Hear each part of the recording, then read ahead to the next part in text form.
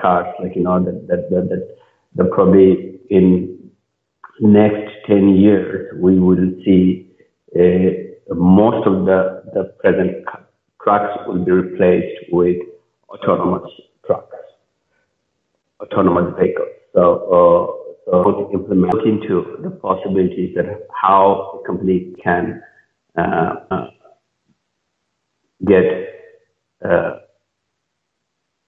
some kind of competitive advantage. Uh, they, they, have to look into the key areas like uh, the supply chain where they think that they are either they have to to attain uh, uh, uh, attain competitive advantage because of their strategic importance of the, the, these touch points. For example, like you know that it can be the the the customer relationship, um, the customer uh, and with the customer service that re reduces cost. And the second, uh, have access to the right kind of information, uh, uh, the customers are getting better service. And these two things together, like uh, many companies are planning to use some insights uh, they, that uh, probably sometimes, for example, was uh, I, I told, and the further was like, like in Netflix or like Amazon. and more, more and more companies are using uh, th- those these technologies like recommendation systems. And uh, thanks for sharing today on this interesting topic. Did we cover all the points you wanted to make? Uh, uh, well, uh, the, you know, the, supply chain, like if you look at supply chain,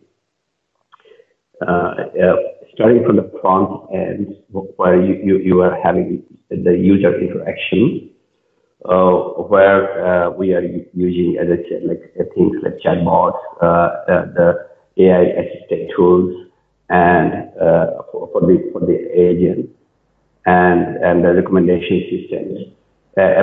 That's that's only only the the front end. At the back end, like manufacturing, probably uh, uh, uh, we can uh, we can talk about the manufacturing where uh, the entire manufacturing right now in some of the plants, like for example, the Siemens, the, they have um, a plant where uh, the, the the entire uh, product manufacturing process uh, is occurring without any human intervention for days.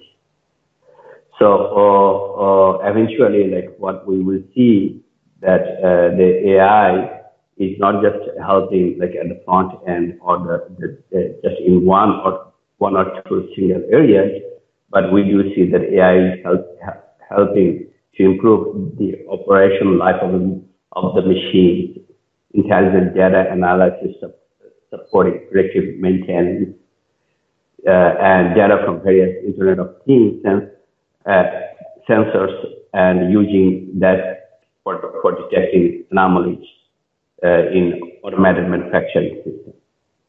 So, so uh, there is no limit uh, right now that where AI is not getting used. And eventually, what, what, we will see, like in the very near future, uh, what we expect is, is that there will be the, the entire supply chain will be totally automated. And one, uh, one thing that where right now we are seeing a huge impact of uh, supply chain also, uh, you know, uh, uh, we call it bull, bullwhip effect. Are you familiar with this term? Oh, yes. Yeah. So, uh, uh, bullwhip effect occurs when even there is slight fluctuation in customer demand at the retail level, it can cause a massive uh, distortion upstream somewhere to the manufacturing level. What, uh, in order to reduce this effect, what you need is uh, uh, to uh, you have to be able to forecast more accurately the, the customer demands and and and the trends. And this uh, the the uh the forecasting accuracy is crucial in reducing this defect.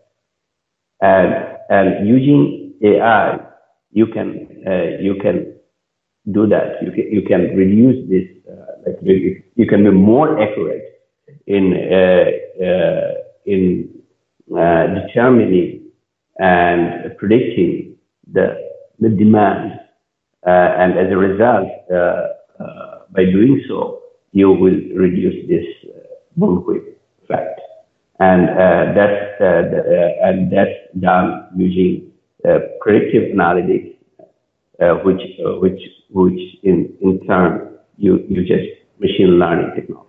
And uh, thanks again for sharing today, Mitt. Yeah, thank you. Yeah, sure.